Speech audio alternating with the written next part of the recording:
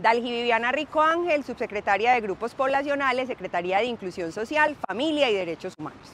Estamos muy orgullosos de lograr que campesinas y campesinos de Medellín logren comercializar más de 60 mil kilos de diferentes hortalizas a diferentes mercados de grandes superficies, lo cual logra impactar de manera especial la compra local, mayor producción y abastecimiento de alimentos y mayor soberanía alimentaria.